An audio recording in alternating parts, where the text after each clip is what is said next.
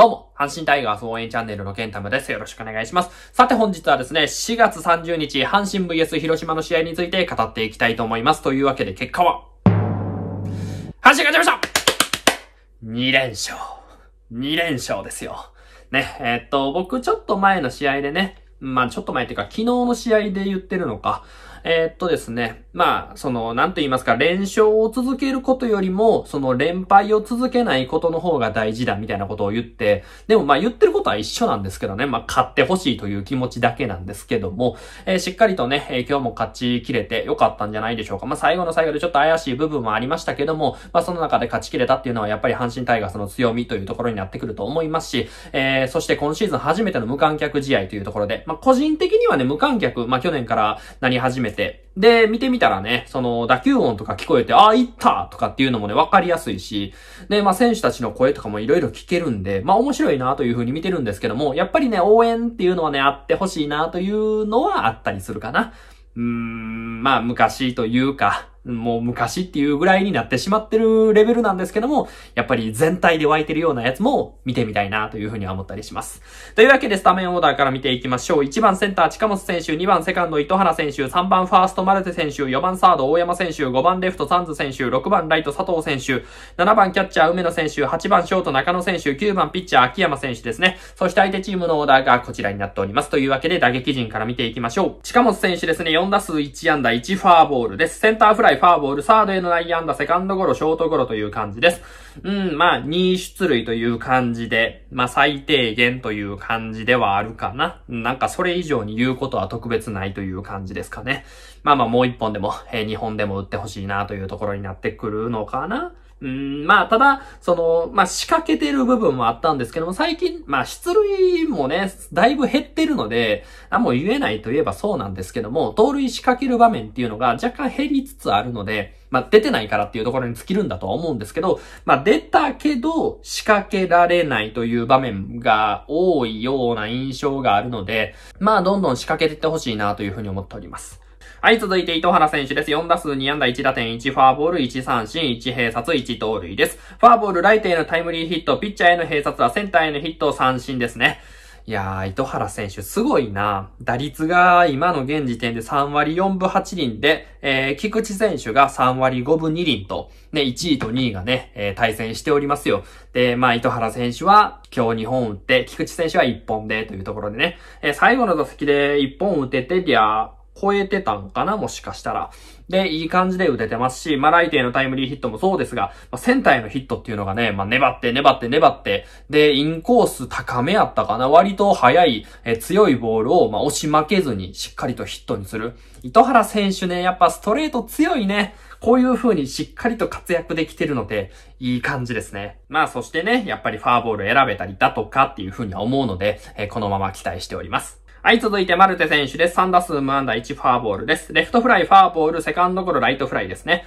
えー、残念ながら、その打撃においての結果は、まあ、1出塁というところだけなんですが、えー、今日守備でね、2個3個ぐらいいいプレーあったよね。最高ですわ。その、いろいろ言われてるじゃないですか。うん、まあね、いろいろ言われてました。で、まあ、去年に関しては、ほんまにね、これ僕何回も言ってるんですけど、去年はサードで練習してたの。まあ、ファーストもやってないとまでは言わんが、おそらくね。でも、サードでの守備を練習してたんですよね。で、えー、今年はファーストでの守備をもう完全にやってたと。まあ、その違いですよ。去年と今年。まあ、もっと言うならその前の年っていうところはね、その違いだけなので、マルテ選手はそもそも上手いですっていうふうに僕は感じております。えー、守備でもいい感じでやってくれてるので、えー、次回も期待しております。はい、続いて大山選手です。3打数1安打1ファーボール1併殺です。ファーボール、レフトフライ、センターへのヒット、ピッチャーへの併殺打です。えー、1打席目ファーボール選んでね、えー、サンズ選手のタイムリーに繋げたというところはね、ほんまに良かったですし、えー、3打席目しっかりヒットを打って、まあ、1試合に1本ずつぐらいヒットを打って、打率が今で3割ですか。えー、本当にいい感じですね。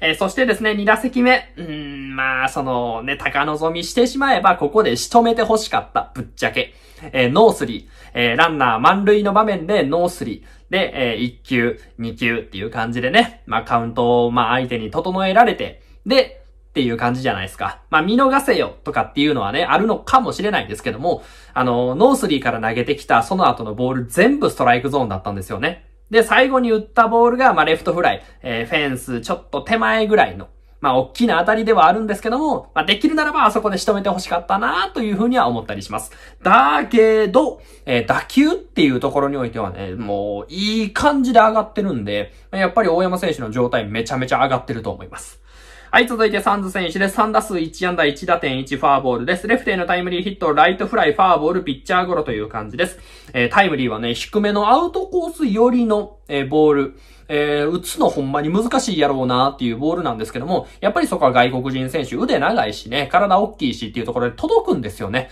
えー、しっかりとタイムリー打ってくれて、2打席目もね、逆方向に、ただね、その無観客だからっていうことがあるんですけども、バット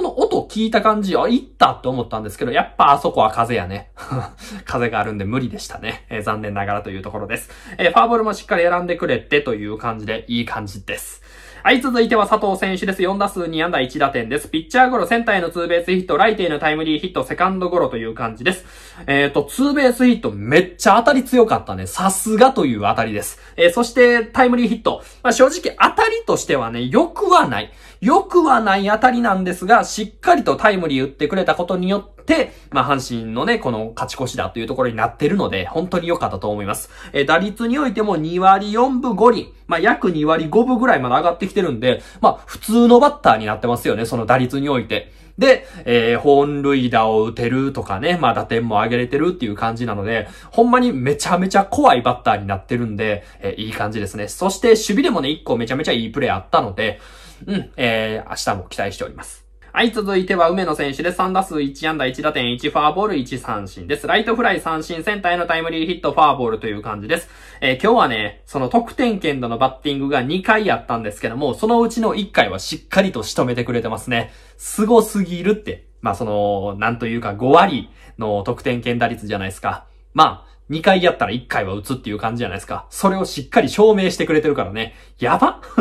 やばすぎるって。まあまあまあ、そのリードにおいてもね、最後クローン選手にホームラン打たれたりだとか、そっから繋がれてもう1失点、まあ計2失点食らってしまうというところはあるんですけども、まああの、秋山選手の制球力というところも含めなんですが、えー、しっかり緩急もいろいろ使った上で、えー、こうやって抑えてくれてたので、本当に良かったですね。まあ後で秋山選手のことは言いますけども、えー、前回正直ね、ちょっと良くないピッチングをした中で、今回のピッチングめちゃめちゃ大事じゃないですか。え、しっかりやってくれましたね。えー、梅野選手も次回期待しております。はい、続いては中野選手です。3打数1安打1フォアボール1三振です。ライトにヒット、フォアボール三振、センターフライですね。えー、ヒットはね、しっかり打ってる。やっぱね、打つの、まあ、その、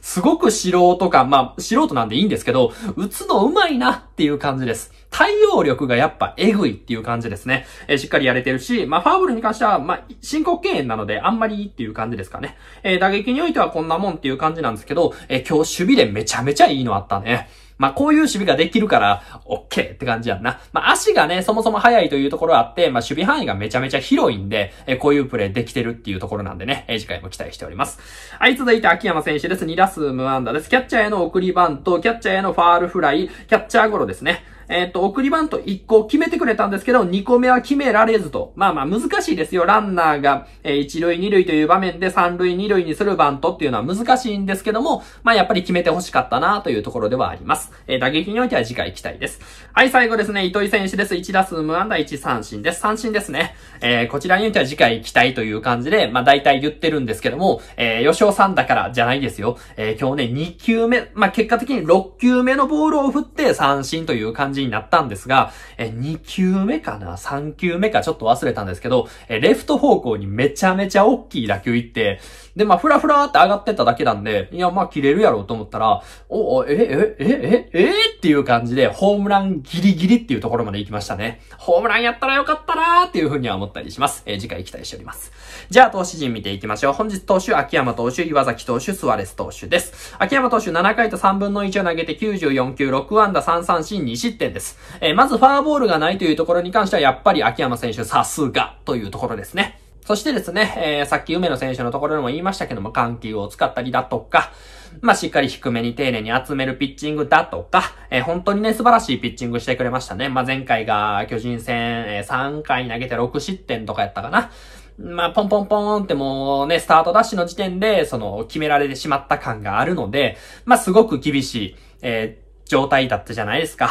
で、そこで今回のスタートダッシュどうなるかなと。まあ、阪神がね、先生って取ってくれたというところでね、まあ、キーはちょっと安らいだかなというところはあるとは思うんですけども、えー、その中でね、立ち上がりというところをしっかり抑えて、まあ、なんというかね、最後、うん、まあ、球数的に見れば、えー、9回関東、まあ、もしかしたら完封まであったかもしれない状況なので、投げ切って欲しかったなとは思うんですが、えー、しっかりと7回投げて2失点、えー、しっかりとクオリティスタートというところなんで、えー、完璧ですね。え次回の登板にも期待しております。はい、続いて岩崎選手です。3分の2を投げて13球、無安打1ファーボール、無失点です。え、ファーボール出したんですけども、鈴木選手に対してファーボール。まあ、あの、申告敬遠じゃないだけっていう感じでしたかね。まあその次の西川選手、まあ対左で勝負しようというところで、えー、しっかり投げ切れたというところに関して、えー、良かったんじゃないでしょうかと。えー、犠牲フライでね、まあ1失点食らったんですけども、まあまあここに関してはまあ1点で済んだというところなので、まあ全然問題ないですし、まあ岩崎選手にね、まあ実績はつかないですし、というところもあるんで、えー、しっかりとやってくれてるんで、えー、良かったと思います。